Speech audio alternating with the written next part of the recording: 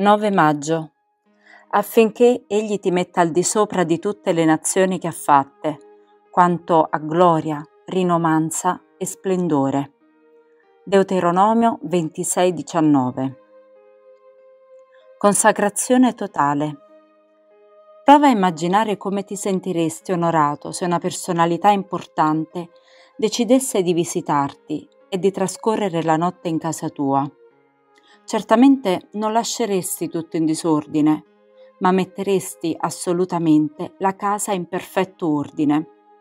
Inoltre non faresti dormire il tuo ospite nel garage, nel ripostiglio o in soffitta, bensì offriresti sicuramente la stanza da letto più spaziosa e comoda.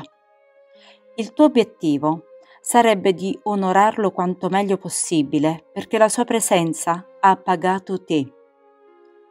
Ora, medita su quanto segue. Tu hai fatto dichiarare oggi al Signore che Egli sarà il tuo Dio, perché tu cammini nelle sue vie e tu obbedisca alla sua voce. Il Signore ti ha fatto oggi dichiarare che sarai un popolo che gli appartiene. Verso 17-19. Se desideri che il Signore si usi di te, ti onori e ti dimostri il suo favore, non puoi assolutamente marginarlo o dividerlo in compartimenti.